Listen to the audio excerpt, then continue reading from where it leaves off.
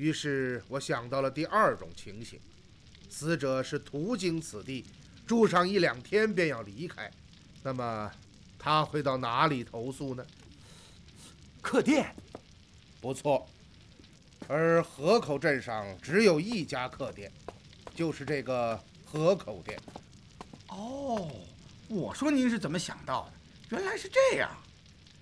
还有，我想到了傍晚时分，我们来到客店投诉时，店老板张申那些反常的表现。恩师，看样子确实是没人。街上就这一家客店，还关了门。今晚啊，咱们只好寻个人家借宿了。店内有人吗？是谁？哦，过路之人前来投诉，请店家把门打开。啊，就来。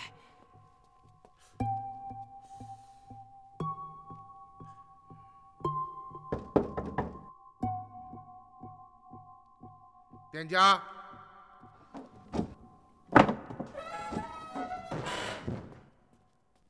哦，请问是店家吗？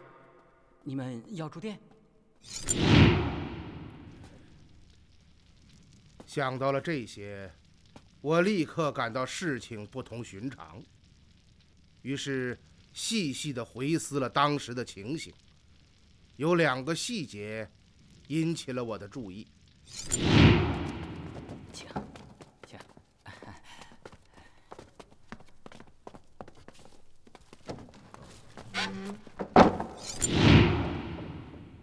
拱生的猪头是用荷叶包裹，而凶手怀抱的死者人头也是用荷叶包裹，这才致使二人错拿了对方的东西。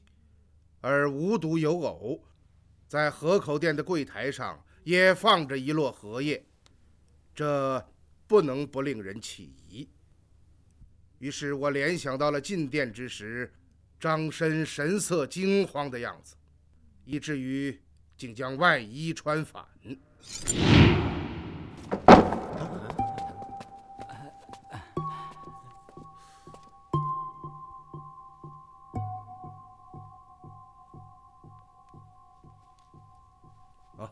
真是对不住，我等急于投诉，催促甚急，店家竟连衣服都穿反了啊！呃，让各位见笑了。方才各位敲门时，我我我等已经睡下了。怎么，天上未黑便已安寝？嗨，店里没什么生意，又没有别的事可做，便早些安歇了。当这一切不停地闪现在我脑海之中，一个推论便油然而生了。那位死者来到河口店投宿。张申见财起意，伙同店伙计二人将其害死。由于客店之中人来客往，不同于寻常人家，也许还有其他的原因。张申不敢将死者的尸体就地掩埋，而是决定将其头颅斩下，让伙计带到无人之处纵火焚化，而将尸体埋在另一处地方。这样，即使日后尸身被人发现，这也是个无头公案，连死者是谁都不知道，自然无法破案。当然，更牵连不到他的身上。我说的不错吧？你，你是在什么时候听到我们说话的？我并没有听到你们说话。不可能，不可能，否则你怎么可能知道这些？如果你知道他是谁，就不会觉得奇怪了。正当张生二人将死者的首级斩下，用荷叶包好，准备带出殿外焚化之时，我们恰恰来到了客店门前。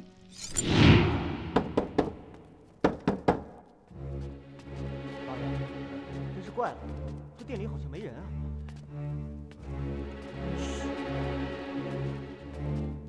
店家，行路之人前来投诉，请把店门打开。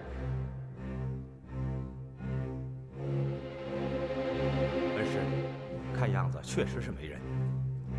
街上就这一家客店，还关了门。今晚啊，咱们只好寻个人家借宿了。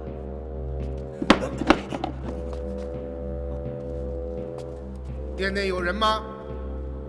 笨蛋，滚到后边去！谁呀、哦，过路之人前来投诉，请店家把门打开。啊？就来。当我们进入店中之后，你以生意不好，店中没有食物为由，将我等推到街上的饭铺去吃饭，而你，则赶紧回到西头那间亮着灯的客房之中，包裹尸身，擦抹血迹，做好善后事宜。可是你没有想到的是，伙计在小巷口与买猪头回来的巩生撞在了一起。巩生怀抱的猪头落地，伙计抱着的人头也掉在了地上。因猪头和人头同样是用荷叶包裹，伙计慌张不察之下，捡起了巩生买来的那颗猪头，急奔而去。而巩生则是拿起伙计落在地上的人头，继续前行，被巡夜的里长和贾丁碰到，事情。最终败露。唉，听说街上出了杀人命案，我吃了一惊，赶忙向看热闹的人打听。听说是巩生杀了人，怀抱人头被里长发现。当时我就隐隐觉得这中间肯定出了什么事情。果然，伙计回来告诉我，荷叶包里是个猪头。我虽然生气，但想到那颗人头是在巩生手里被发现的。又只过了他和冯屠户之手，再聪明的人也联系不到我身上，又平白无故的出来两个倒霉蛋顶罪，这岂不是更好的结果？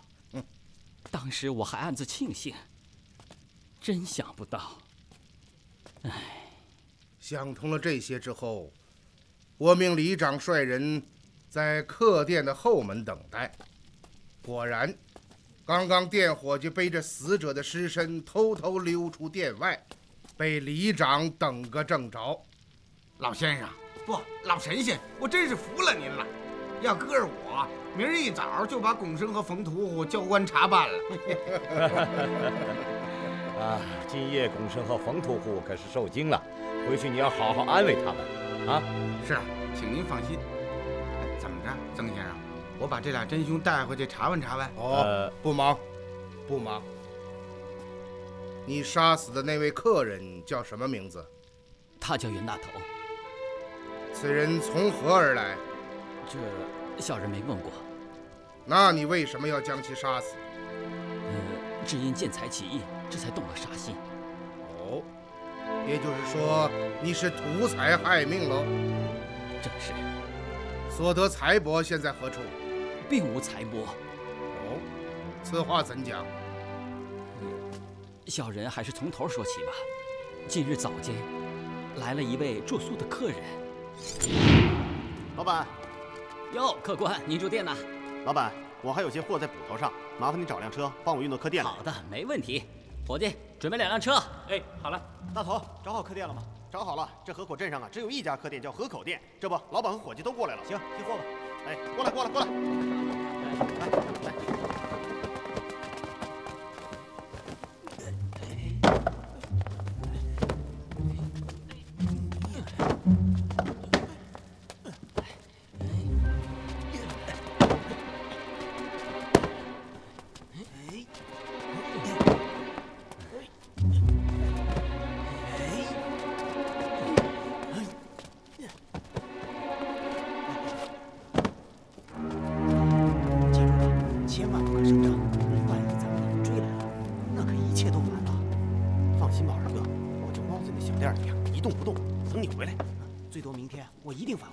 这期间你可一切要小心，尤其是咱们的货。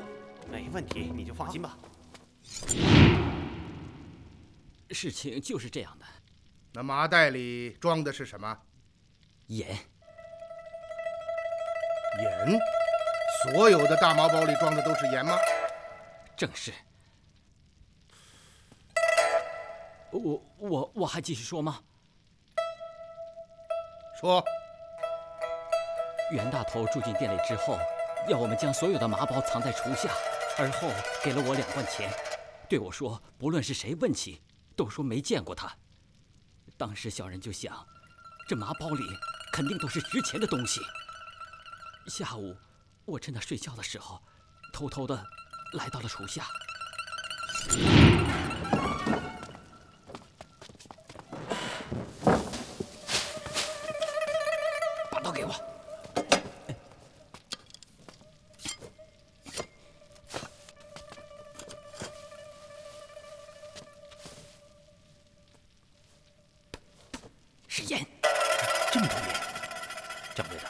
听说盱眙县那边闹盐荒，一斗盐能卖好几百钱。这么多麻袋，怕得有五六担，得值上百两银子。两小非君子，无毒不丈夫，宰了他，把盐藏起来。等风声过后，咱们把盐挑了，卖个好价钱，远走高飞，省得在这个穷地方受这冻。哼，掌柜的，他们还有个人呢。早上您没听他俩说吗？那瘦子明儿就回来。嗯，这样，等天擦黑了，咱们弄点酒，先把他滚趴下，然后宰了他，把脑袋带到没人的地方烧了，剩下个无头的身子随便一埋，就算是有人发现了，那也是个无头公案，连死的是谁都不知道，包他破不了案。可，要是他那个同伴回来了呢？那还不好办吗？说他晚上带着货离开了。再问之下，就推说不知，一无凭，二无据，他能把咱们怎么样？就这么着，到了傍晚时分，我二人用酒将其灌醉，而后杀了他。后来的事，您就都知道了。嗯，那些盐现在何处？还在厨下。引我去看看。就是这儿，打开。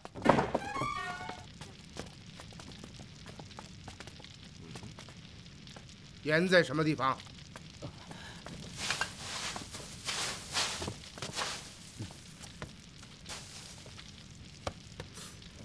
这麻包是湿的。哦。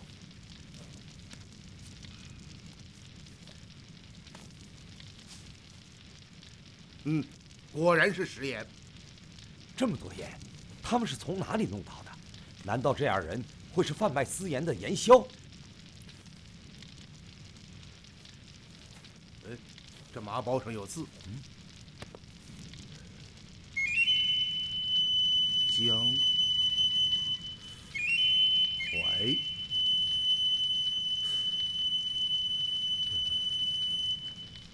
这个字是哦，盐。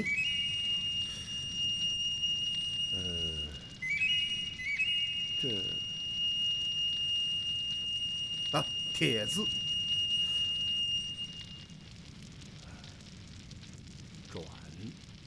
运使。江淮盐铁转运使？什么？盐铁转运使？这，这是官盐。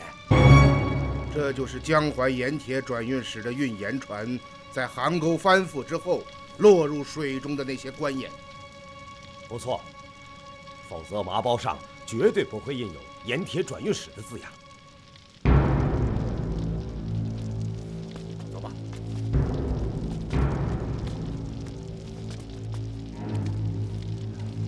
邗沟覆船后，沉入水下的官盐消失无踪，官府屡次打捞，均是无功而返。现在这些官盐却神秘地出现在了河口镇。恩师，会不会有这种可能？这些官盐是袁大头等人从江淮盐铁转运使的仓房中偷盗出来的，而不是邗沟覆船后落水的官盐。有这种可能性，可你注意到了没有？麻包潮湿，这些字迹模糊不清，很显然是曾经被水浸泡过的。不错，可安师，如果真是邗沟翻船后落水的官盐，而今已经几个月过去了，早已经干了。不然，南方气候阴潮，湿物本来就不易干燥，再加上这些人将麻包打捞上岸之后堆叠在一起，湿气就更加不易散发，因此麻包潮湿是很正常的。有道理。今天我们在上沟村还曾经说起，这上百只快船的出发和返回地点在哪里，是吧？不错，您当时说这个地点就在附近，绝不会离上沟村太远。嗯，与其说这几包官盐是从江淮转运使的仓房中盗出的，倒不如说这河口镇附近有这些歹人的秘密窝点还合理一些。您的意思是，那些打捞官盐的歹徒就是从这附近驾着快船出发，待打捞完毕后，又将所有的官盐存放在这里？不错。可恩师，我们看过地理图啊，这附近除了河口镇外，再也没有其他的村庄和镇店。哼哼，一切还是让事实来说话吧。张神，呃，在。你方才说到与袁大头同行的还有一个瘦子，是吗？是，正是。此人明天回到河口镇。我听他二人就是这么说的。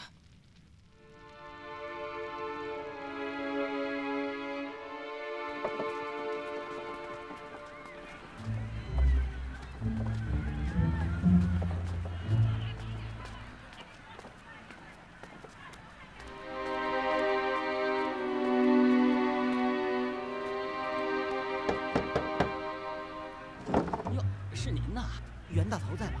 在屋里，还没起呢。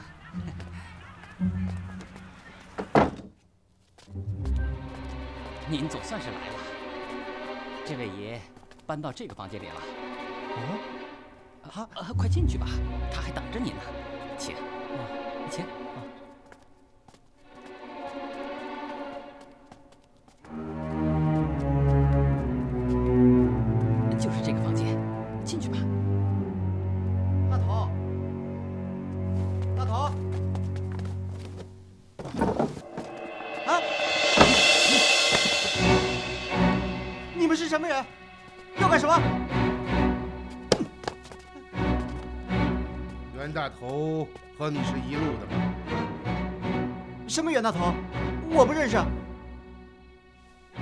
劝你识相一点，不要逼我把事情做绝。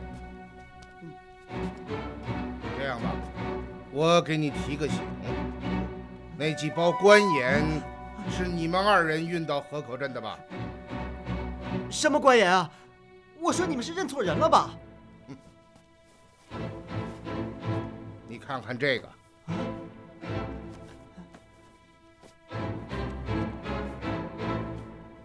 啊！你们杀了他！知道为什么吗？就是因为他不肯合作。希望你不会落得他这样的下场。说吧，那些官盐从哪里来的？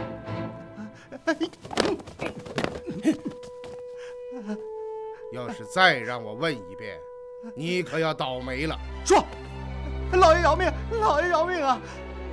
放开他。说，这些盐是从北沟大仓房偷出来的。啊北沟大仓房，正是，正是。北沟大仓房在什么地方？离河口镇不到三十里地。胡说！地理图显示，河口镇附近没有任何村镇房舍，更不要说仓库了。老爷，小人说话句句事实。那北沟大仓房是两年前才建起来的。哦，是两年前才建起来的。正是，那里原来是一片荒地和荒滩。你叫什么名字？小人冒三儿。你们是做什么营生的？把盗盐的经过给我详细道来。是是，小人就是就是北沟大仓的水鬼，袁大头是负责看管仓房的。因大仓内存有很多食盐，小的二人商量倒出一些卖到北边，赚些银子花花，这才趁夜潜入了仓房，倒出了六七包。我二人说好，小的负责去找买家，而袁大头带着盐包在河口镇中等待。北沟大仓之中有多少水鬼？有，有七八百人，还有上百只快船吧？啊，你，你怎么知道？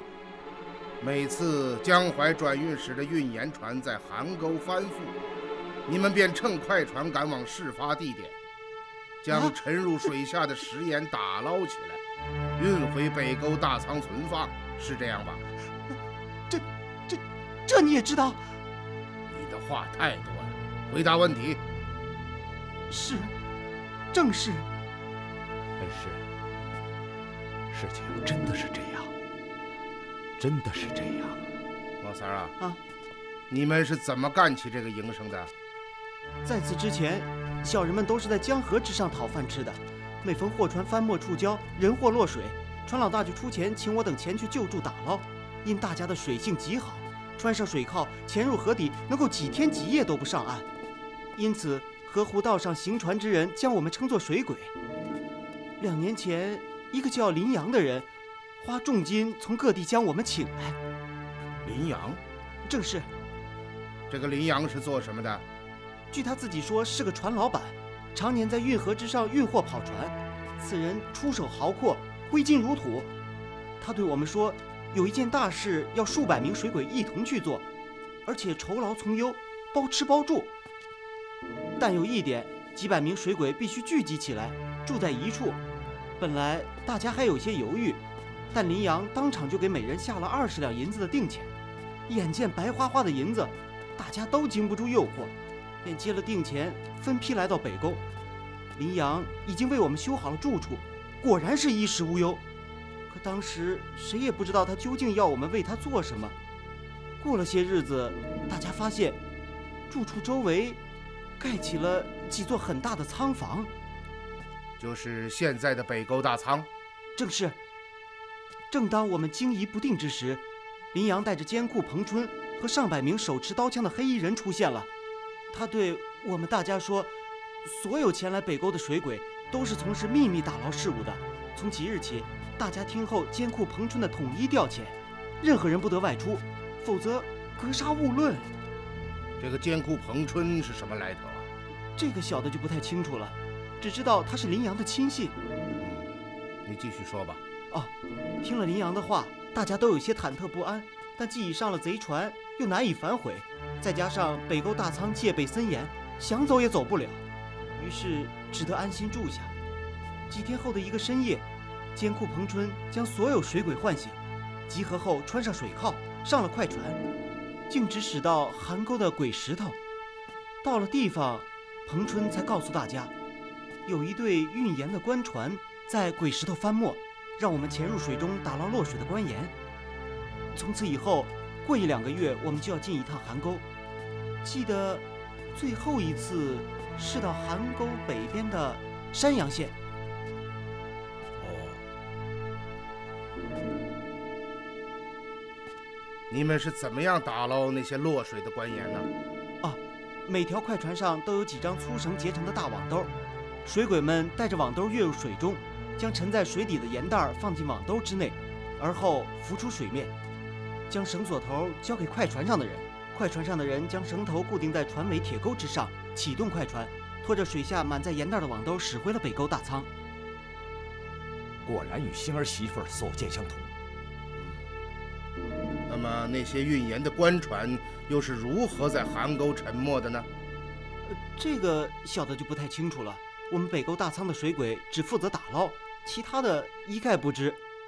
呃，每一次将盐运回后，就存放在仓房之内。过了些日子，便会来一艘大船，将库存的官盐全部运走。哦，什么样的大船？啊，就是平时运河之上载货的翘头大趸船。那么，这个大趸船将那些官盐运到何处啊？这个就不太清楚了。哦，但在装船之时，听大趸船上的人说话，好像是淮北口音。哦，淮北口音。啊，正是。每次大船前来运盐时，林阳都会出现。这样吧，今夜就由你带路，我们潜入北沟一探究竟。啊，老爷，北沟大仓把守极其严密，一旦被他们发现，那可是死路一条啊！小人好不容易逃离那里，若是再回去……既然你有能耐跑出来，就一定有办法回去。这这样吧，两条路由你选择。第一条路，带我们暗探北沟，回来之后我便放你离开。第二条，现在就死。啊，小人还是选择第一条路吧。可可，老爷，你可得说话算数啊！回来后便放了小人。这一点你尽可放心。把他带下去吧。是。报，恩师。一切都在您的预料之中。果然是这些人将沉入水下的官盐盗走，而且他们的窝点就在附近。嗯，目前有一点可以肯定，扛钩覆船绝非意外，而是歹人们精心策划、蓄谋已久的巨大阴谋。首先，他们暗中袭击盐船，令其在邗沟翻覆，而后再派出早已准备就绪的水鬼。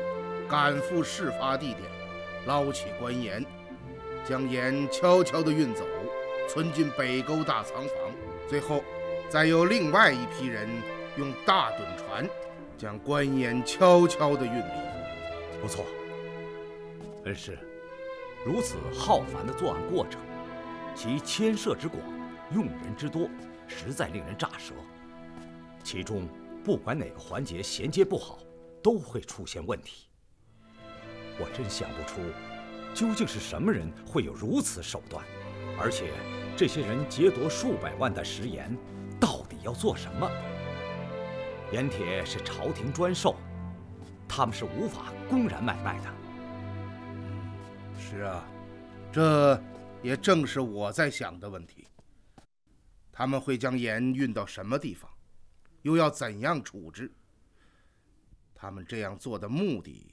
究竟是什么呢？恩师，要不要通知钦差卫队前来，将他们一网打尽？我们已经接近了事实的真相，越是在这种时候，越要沉住气，绝不可打草惊蛇。嗯，我想，此事今夜便有分晓。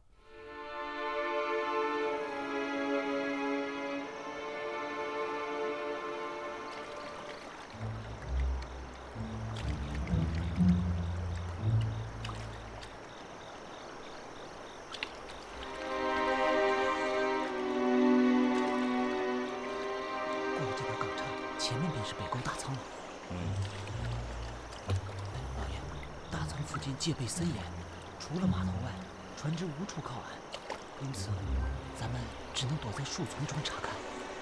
那树丛离仓房有多远？哦，码头旁边就有一片树丛。可有一样，大家一定不要出声，万一被守卫发现了，那可就完了。过了港岔之后，大家要加倍小心，讲话不要高声，以免被那些守卫发现。啊，是是。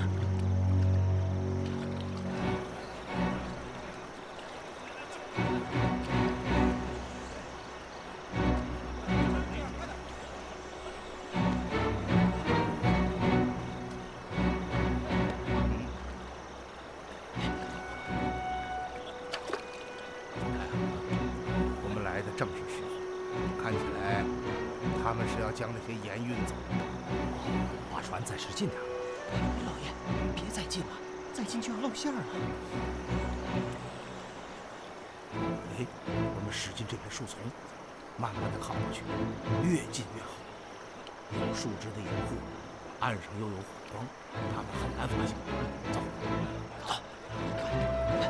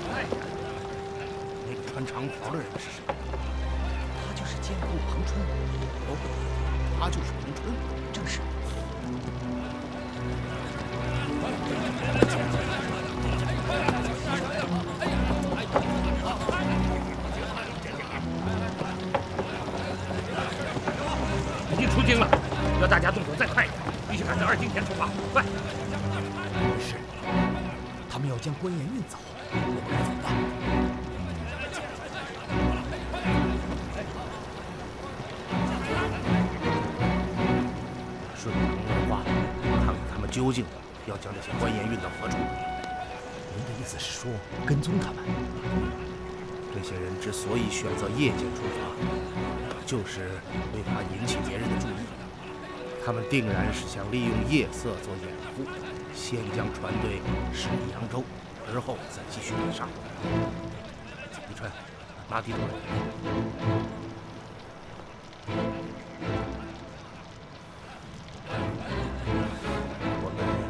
先返回河口镇，然后兵分两路。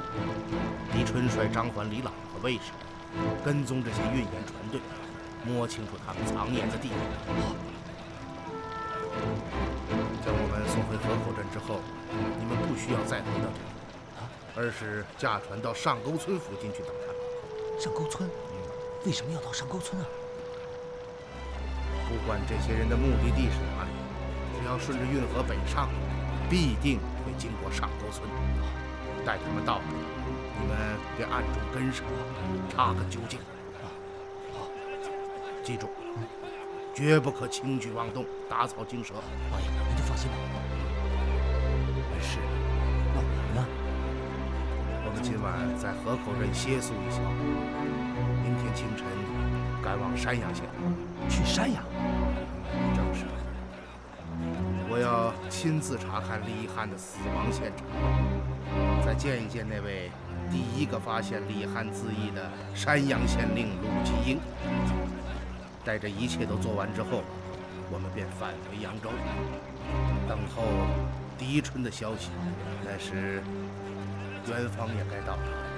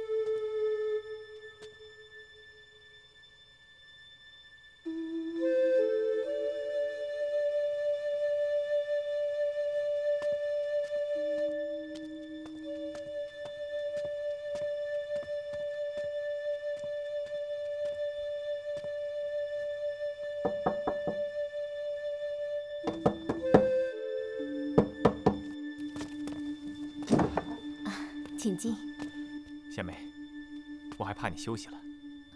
睡不着啊？我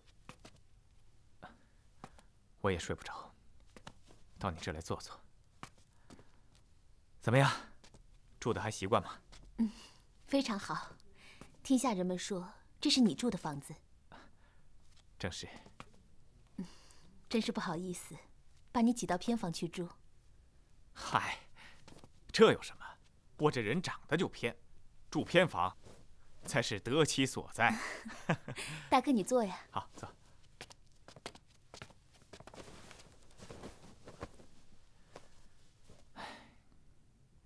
大哥，你是不是有话要对小妹说？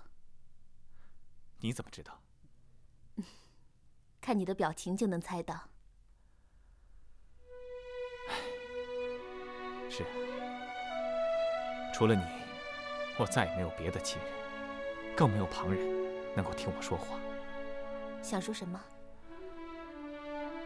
明日，明日，就是与元芳约定的见面之期了。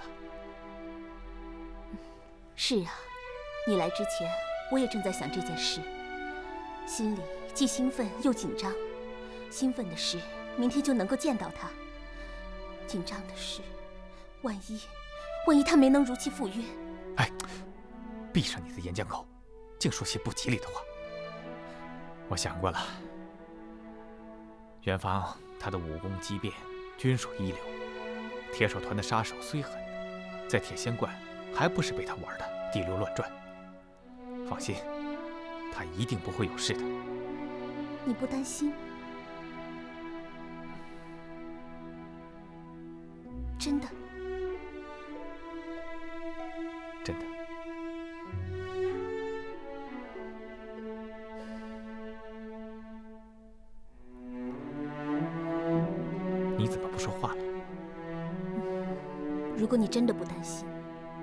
会半夜跑到这里对我说起此事。大哥，我知道你的心思，你是心里没底，想从我这里听到些令人安心的话，是吗？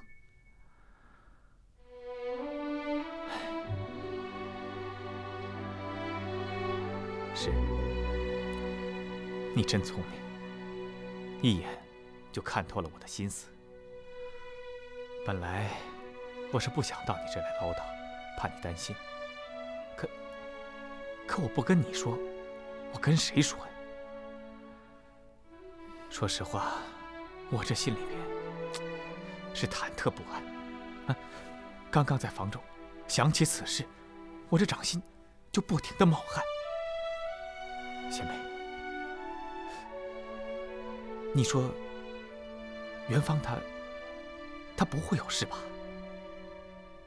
大哥。说没事，那是自我安慰。我的心里也是非常紧张。可是我相信一点。是什么？还记得你上次在树林中说过的话吗？记得。我相信，吉人自有天佑。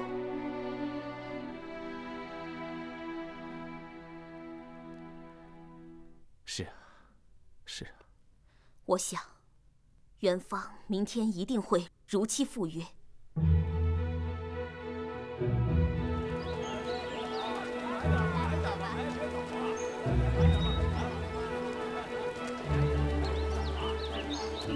总裁啊？那就是山阳县衙了。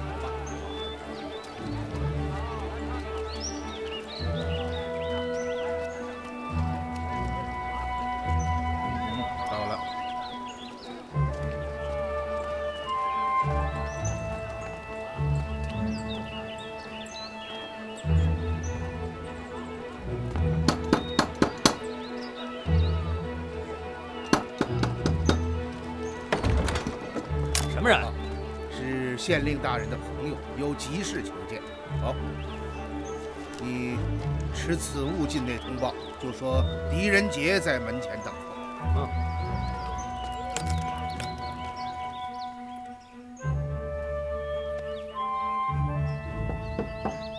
进来。怎么样，贤妹，准备好了吗？好了。那我们走吧。万一元芳到得早，他在这里人生地不熟的，别生出什么知己。大人。县令大人，怎么了？门前有几个人说是您的朋友，让我进来通报。我的朋友，下去吧。哦。狄仁，狄仁杰，大哥，怎么了？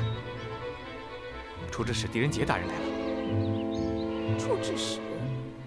那天吴文登道就是要告诉我，处置使狄仁杰大人即将到达扬州。狄仁杰，就是那个断案如神的宰辅狄仁杰。应该就是他。哎呀，这可怎么办？这可怎么办呢？大哥，你别着急，你立刻前去迎接狄大人。我先赶到群仙茶楼等待元芳。事到如今，也只好如此了。贤妹，你一切小心。放心吧，我也不是小孩子了。好。哎，大哥，啊、官府。哦，知道了。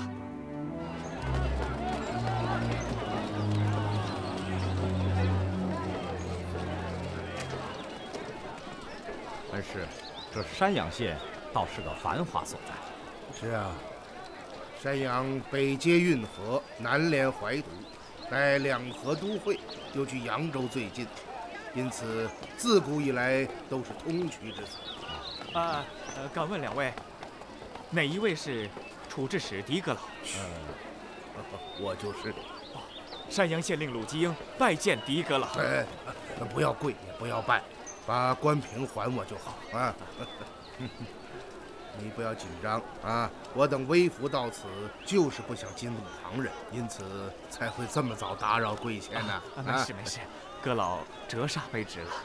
未知阁老驾到，有失迎养，望阁老恕卑职不恭之罪。好了，客套就免了吧啊！我把贵县从被窝里叫起来，也是于心不忍呐啊！